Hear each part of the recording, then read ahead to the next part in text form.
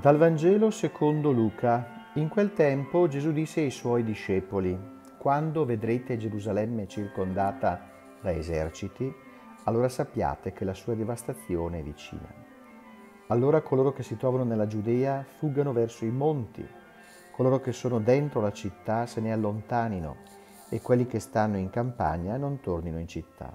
Quelli infatti saranno giorni di vendetta, affinché tutto ciò che è stato scritto si compia in quei giorni guai alle donne che sono incinte e a quelle che allattano, perché vi sarà grande calamità nel paese e ira contro questo popolo. Cadranno a fil di spade e saranno condotti prigionieri in tutte le nazioni. Gerusalemme sarà calpestata dai pagani finché i tempi dei pagani non siano compiuti. Vi saranno segni nel sole, nella luna, nelle stelle, e sulla terra angoscia di popoli in ansia per il fragore del mare dei flutti mentre gli uomini moriranno per la paura e per l'attesa di ciò che dovrà accadere sulla terra. Le potenze dei cieli infatti saranno sconvolte. Allora vedranno il figlio dell'uomo venire su una nube con grande potenza e gloria. Quando cominceranno ad accadere queste cose, risollevatevi e alzate il capo, perché la vostra liberazione è vicina.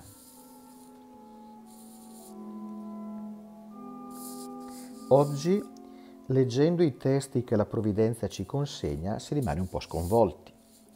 Ci vengono presentati scenari che ci rimandano alla fine del mondo. Il brano del Vangelo descrive la distruzione della città di Gerusalemme avvenuta a causa dell'esercito romano. Luca legge tale evento come la conseguenza per non aver accolto il passaggio del Messia, il Signore Gesù, venuto a perdonarci dai peccati e dalla morte. Luca attraverso questi eventi anche dolorosi legge la storia come storia di salvezza e vi intravede tre tappe ben precise. Il tempo dell'antico patto, ormai superato, perché il popolo non ha compreso il passaggio, il passaggio del Messia Gesù e quindi lo ha, rifiuti, lo ha rifiutato. Da quel rifiuto è nata la nuova alleanza in cui la Chiesa è il nuovo popolo santo, chiamato a dare testimonianza al suo Signore. L'ultima tappa è scandita dall'attesa della venuta finale di Gesù. Ci saranno fatti e segni sconvolgenti che la prepareranno. In tutti questi eventi l'invito che ci fa il Signore è carico di speranza.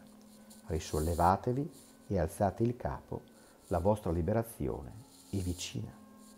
Sono due oggi i messaggi che ci vengono consegnati. Bisogna imparare a leggere la propria storia personale come storia di salvezza. Nella morte e resurrezione di Gesù non c'è evento di dolore e di morte che non diventi anche per noi evento di vita e di resurrezione. Siamo capaci di leggere così la nostra vita. Riusciamo a costruire la nostra storia alla luce del Vangelo per scorgervi la presenza di Gesù nostro Salvatore venuto a riscattarci. Se così stanno le cose, come cristiani, siamo chiamati a coltivare un sano ottimismo che ci apre alla speranza. Cristo ha vinto il male, il maligno, e ci ha aperto le porte del paradiso. Come diceva l'Apocalisse nella prima lettura, noi siamo beati perché invitati alle nozze dell'agnello. Lui è il nostro difensore, lui è il nostro Signore e con l'immagine dell'invito al banchetto di nozze ci ricorda che il suo desiderio è portarci con sé in paradiso, nel suo regno di luce e di pace. Anche noi siamo chiamati a trasformare in luce ogni evento carico di buio, di tristezza e di desolazione.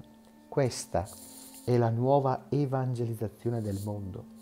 Il Salmo 90 ci invita alla preghiera capace che esplode in un inno di lode e di ringraziamento, perché il suo amore è per sempre, la sua fedeltà di generazione in generazione.